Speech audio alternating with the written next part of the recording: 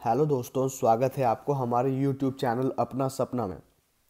तो दोस्तों, आज हम सपने के विषय में बात करेंगे कि अगर आप अपने सपने में मछली पकड़ते हुए देखते हैं या किसी अन्य व्यक्ति को सप, अपने सपने में मछली पकड़ते हुए देखते हैं तो यह सपना, यह सपने का क्या मतलब होगा? यह सपने आपके जीवन में क्या आधारित और क्या प्रभाव डालते हैं?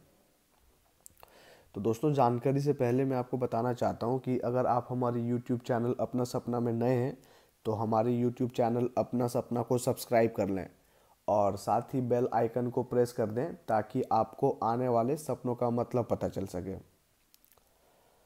तो दोस्तों, यदि आप सपने में मछली पकड़ते हुए देखते हैं तो यह खुशी, भाग्य और विजय होने की सूचक माना जाता है।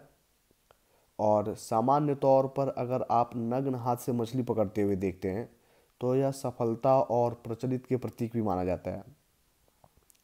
वहीं यदि आप किसी और को मछली पकड़ते हुए देखें तो आने वाले दिनों में आप बहुत ऊर्जावान होंगे।